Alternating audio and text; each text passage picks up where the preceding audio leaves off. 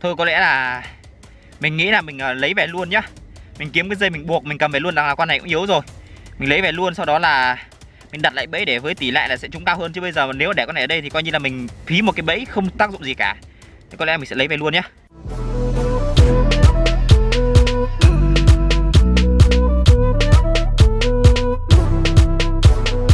Hey, yo yo yo, what's up anh em? Chào mừng anh em đến với lại vlog nhá.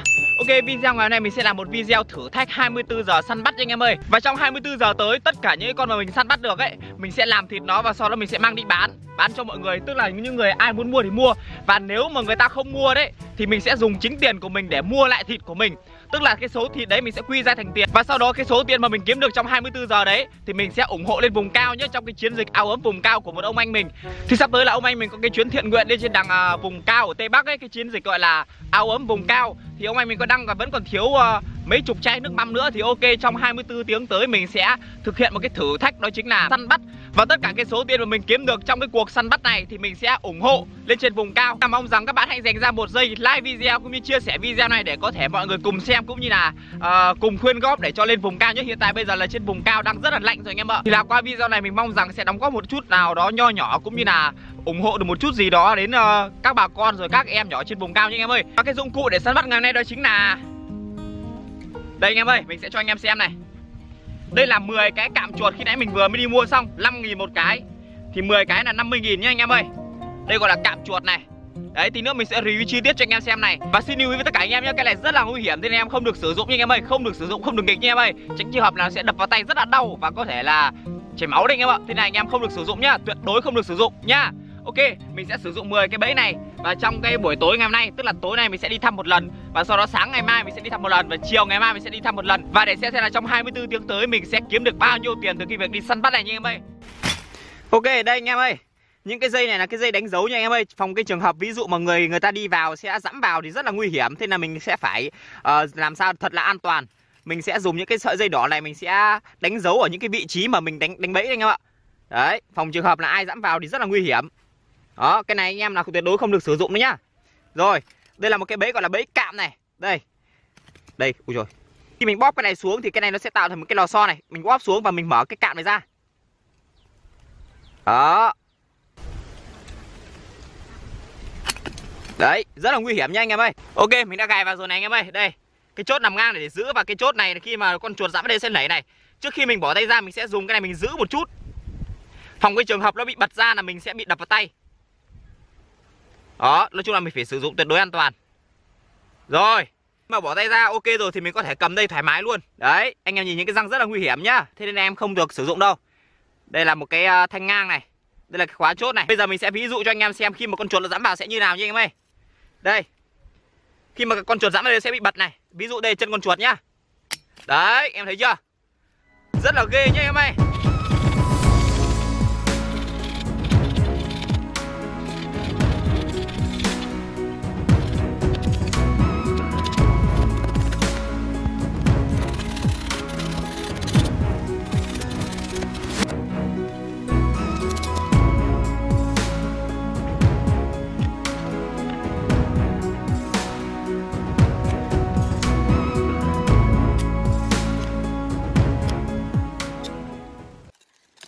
Chuột đây.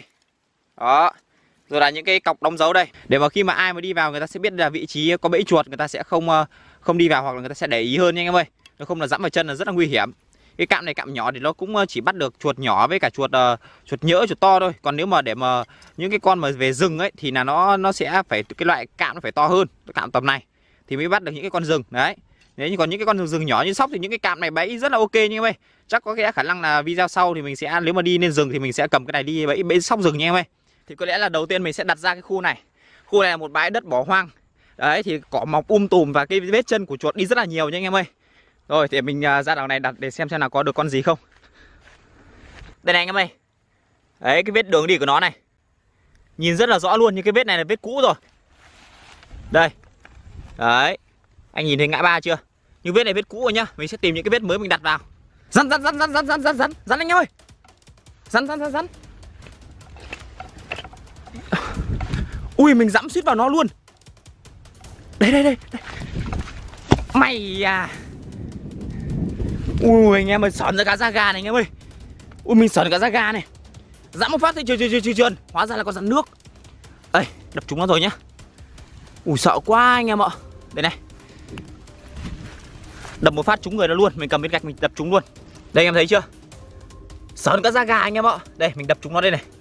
Đấy. Mình đang đi như thế nó trườn trườn trườn mình nhìn xuống phát nó trườn qua chân mình. Ui, dễ nảy lên. Đấy. Như là rắn nước nhá.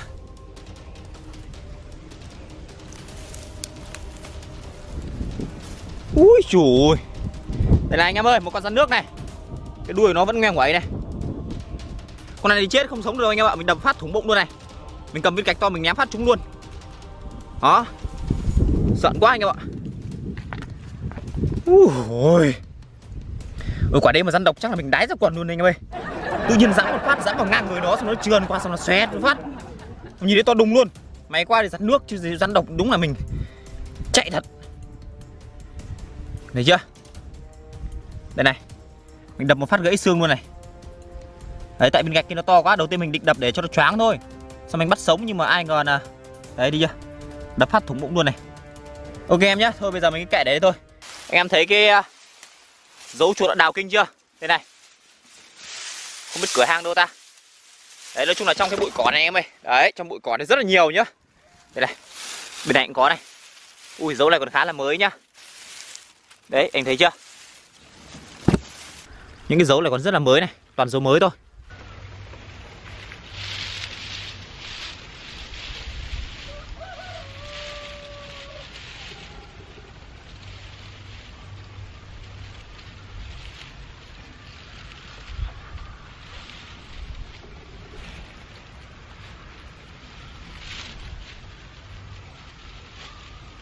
Đây là một ít mồi, gọi là mồi gạo rang cùng với cả mì tôm sống này. Mình sẽ rang một ít vào để cho nó tạo mùi nha anh em ơi.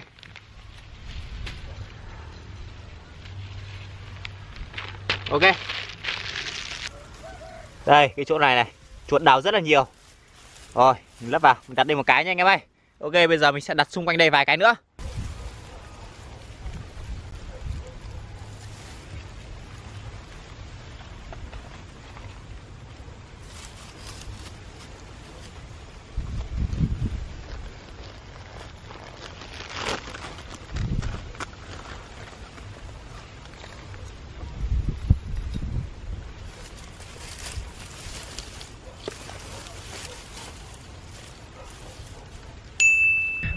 Like video như chia sẻ video này trên Facebook để hy vọng rằng à buổi Ui. Này. Toàn dấu chân mới và dấu chân chuột to thôi anh em ạ, Anh nhìn thấy chưa? Wow. Này này này này. Dọc này. Đây nữa này. Ấy. Cái chỗ đấy là một cái cống. Bảo sao? Chắc là trong đấy rất là nhiều chuột to anh em ơi. Chắc là đêm nó từ đấy nó đi ra đấy đêm từ đấy đi ra đằng máng này để đi tìm thức ăn đấy. Bạn này chắc chắn mình phải đặt thêm một hai cái nữa anh em ạ. Đây. Anh nhìn này. Đây nó đang bới ốc lên nó ăn này anh em thấy chưa? Đây những cái con ốc này. Nó tưởng là ốc thịt nó bới lên nó ăn đấy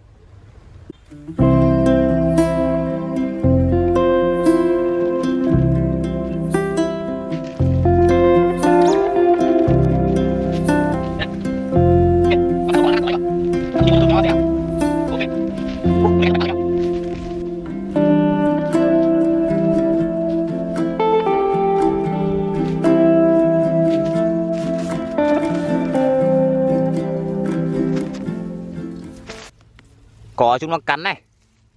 Quả này còn rất là mới nhá, mới héo thôi. Thì khả năng là cái ờ, đường của nó là ở trên đây. Đây này, đây chuẩn chuẩn luôn rồi. Đây đây là anh em ơi, hang này hang này hang này. Nó tha cả rơm, cả dạ vào này. Đặt ở cửa hàng một cái nhá. Thề chứ, con này là chuột cống nhưng mà chuột đàn rồi. Chuột cống nó phải to tầm bắp tay, bắp đùi đấy anh em ạ. Đây này. Chuột cống, chuột đất đấy. Đấy, chuột đất nó màu đen. Đây, anh nhìn này, cái hang nó này đây, nhìn này, cái hang nó này. Đó, rồi là cái đất nó cời ra này. Nhìn chưa? Từng cục đất rất là to. Đấy, đây khả năng chuột đất rồi. Chuột đất màu đen và rất là to. Đấy, ok, mình sẽ đặt đây một cái nhá. Ui, dọc cái đường này rất là nhiều luôn. Rồi, ok. Này, những cái cành này mà nó cắn đất luôn này. Nó cắn để nó dọn đường đấy, nó ngứa răng. Ok em nhá, đã xong. Thì bây giờ là mình cứ để đây thôi. Tối nay mình sẽ đi kiểm tra một lượt, nhưng có lẽ là mình sẽ kiểm tra đằng kia thôi. Đằng này mình sẽ không kiểm tra nhé để đỡ tránh bị động anh em ạ. Ok, thì hy vọng là video này mình sẽ thành công và sẽ bán được đến khoảng hai ba trăm nghìn thôi. Là đã rất là tuyệt vời rồi. Được hai con chuột đất là đã rất là tuyệt vời, là đã có thể có hai ba trăm nghìn để đóng vào quỹ từ thiện rồi anh em ơi. Đó, thì video này video thử thách 24 giờ săn bắt chuột. Đấy, kiếm tiền để ủng hộ lên vùng cao. Thì là đây là một cái video ý nghĩa, thì các bạn đừng ngại ngần. Bỏ ra một giây chia sẻ video, like video, chia sẻ video này lên trên Facebook. Nhá ok. Và hẹn anh em, tối nay mình sẽ đưa anh em đi kiểm tra xem được con gì không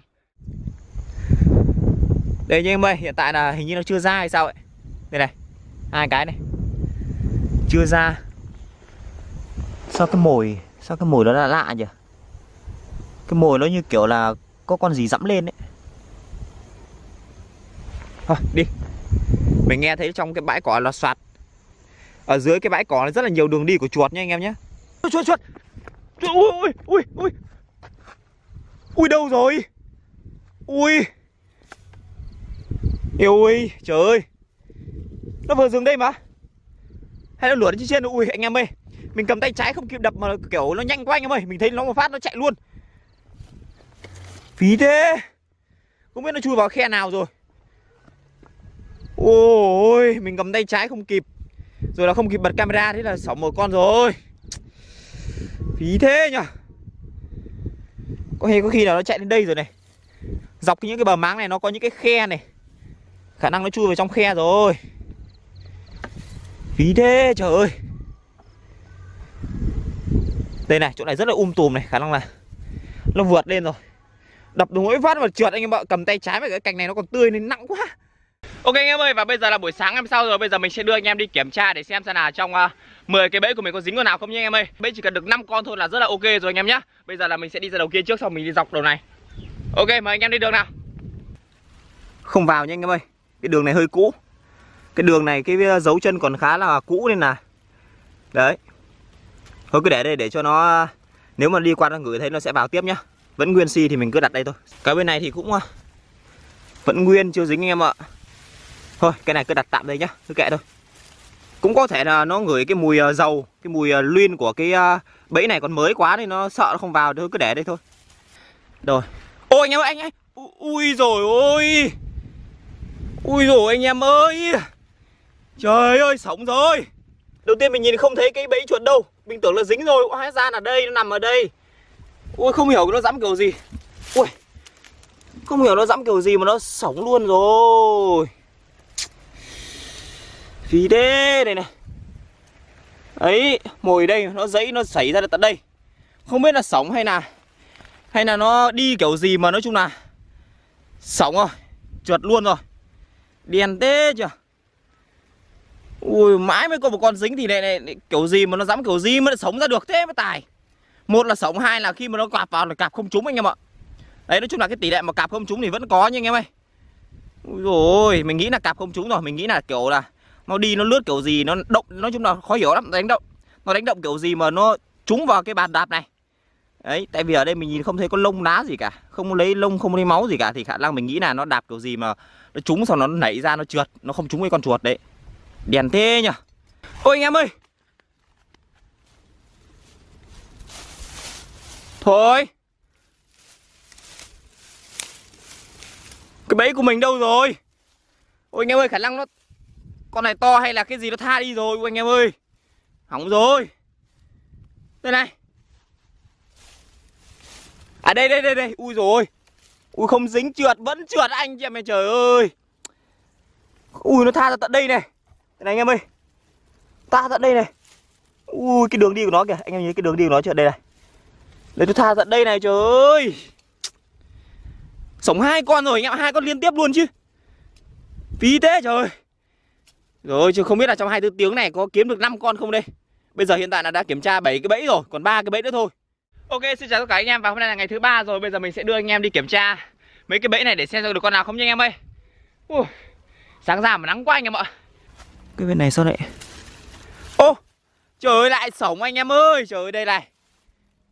Lại sống rồi anh em nhìn nhá. Đây này lông của nó đây này. Em thấy chưa? Đó ui lại sống rồi. Con này khả năng là nhỏ Con này khả năng nhỏ nên nó lách ra được hoặc là mới chỉ chớm vào cái phần gì của nó thôi. Anh em mình dung ạ. Chắc là chỉ chớm vào cái gì đó thôi thì là nó đã giật ra được rồi. Chứ còn nếu mà trúng cổ thì không thể nào thoát được, tại vì cái này nó không có hiện tượng mở ra. Một là con này nó nhỏ, mới chỉ chớm vào lông thôi. Đây này, lông của nó này. Tí quá, lại sống rồi anh em ạ. Thôi, có lẽ là mình sẽ đặt sang à, mé khác nhá. Cái bẫy của mình là cái miếng là nó tẹt xuống đất rồi. Tức là nó dẫm qua nhưng mà không thể nảy được cái cần này lên anh em ạ. Anh em hình dung ạ. Tức là nó dẫm tẹt xuống đất rồi mà không nảy cái cần lên. Đây, anh em nhìn này có cả đất nó dính vào vào cái chỗ cần nảy kìa, anh nhìn thấy chưa? Đó, thế chứng tỏ là, ui, đây là sống một con rất là to, anh em ơi. Em nhìn dấu chân mới này. Hôm nay mình phát hiện ra dọc cái đường này là càng thì càng thêm nhiều dấu chân mới. Em thấy chưa? Bên này thì nó không dẫm bên này không đi qua. Bên này toàn dấu chân cũ thôi. Đây, dấu chân mới này, nó dẫm tẹt cả cái bàn đạp. Đấy, cái hình tròn đấy. Nó dẫm tẹt xuống đất, mà cái cần không nảy thì đâm ra là không sập, anh em ơi, phí tê. Ok, anh em ơi, để mình để xem xem nào. Ui ui ui ui, anh em ơi. mày chạy đâu thoát? Một cái này, một cái này vẫn không bị này. À tức là tao sống mày. Không biết là sống con này hay con nào, Nhưng mà cái dấu chân con này hơi nhỏ. Không to bằng cái dấu chân này. Đây, anh em nhìn này, Cái dấu chân này nó to khổng lồ này cơ mà. Thấy chưa? Đây, con này không phải là con ờ, cái con mà mình đang săn nhá. Con này chỉ là cái con đen đi vào cái bẫy của mình thôi, Anh em ơi. Dính rồi nhá, anh em ơi. Ngon. Được đấy, Anh nhìn này. À. Chạy đâu hả? Tao săn mày lâu lắm rồi đấy. Ui anh em mình nhìn này Mình sẽ nhặt lên cho anh em xem nhé. À, à, một con đầu tiên. Con này là Kẹp trúng cái bả vai Hai bả vai anh em ạ. Em nhìn này. À một thôi, một cái bả vai thôi. Không thể nào mà chạy kịp anh em ạ Không chạy được luôn anh em ơi. Ô, trong tay con này có những cái ký sinh trùng này anh em ơi. Anh em ơi, trong tay con này có những cái ký con ký sinh trùng màu đỏ đỏ này anh em ơi. Nhìn này. Đây này, ôi. Ôi anh em ơi.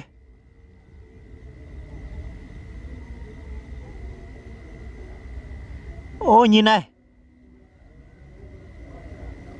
Ui nhiều lắm Thế thì khả năng là Là những con này kiểu dạng như là con kiểu như ve ve chuột rồi Ve chó thì có ve chuột rồi. Đây này Ui nhiều lắm anh em ạ. Ôi Anh nhìn thấy không?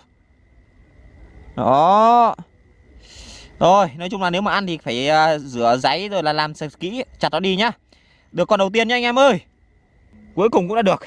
Các em vùng cao là đã có uh, có kinh phí, gọi là có nước mắm rồi. Ông anh mình đang khuyên nước ừ, khuyên góp nước mắm thì là mình đã khuyên góp được nước mắm rồi, có thịt là được rồi. Đó, không cần biết là nhiều ít nhưng nói chung là cứ có thịt chuột là được. Mình nghĩ là mình uh, lấy về luôn nhá. Mình kiếm cái dây mình buộc mình cầm về luôn là con này cũng yếu rồi. Mình lấy về luôn sau đó là mình đặt lại bẫy để với tỷ lệ là sẽ trúng cao hơn chứ bây giờ nếu để con này ở đây thì coi như là mình phí một cái bẫy không tác dụng gì cả. Thì có lẽ mình sẽ lấy về luôn nhá. Lấy về luôn xong vứt vào trong cái bao ấy, xong để mai nó sống thì sống. Còn không sống thì ờ, đằng nào thì để qua đêm nay ở ngoài đây lạnh này rồi cũng chết thôi. Ngoài đây đây này, nó yếu rồi này. Đây để này nó cũng chẳng chạy được cái này. Thấy không? Đó. Con này bây giờ để chỉ khoảng tiếng nữa là chết anh em ạ. Quá yếu rồi. Đó đặt lại bẫy. Chứ nó không là như thế này là phí mất một cái bẫy là không không làm gì được gì cả. Anh em ơi dính dính phải cái hàng này đi làm ăn gì anh em ơi? Hàng này đi. Này anh em ơi. Đây chuột chù này con này chắc mới dính thôi. Con này mới dính thì nhìn rất là khỏe này. Trời ơi thôi con này thả nhá. Cho nó sống được sống thôi chứ cái con này hôi lắm không ăn được đâu anh em ơi. Con này là chuột chù nhá. Ui, ui, Tao đang định thả mày đi mà mày lại dẫy kiểu đấy Tao lại bắt mày lên bây giờ. Hả?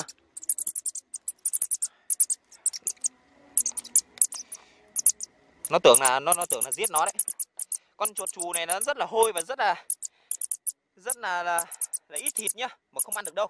Thịt nó rất là hôi. Thôi mình thả nhá. Lượn đi. Lượn đi.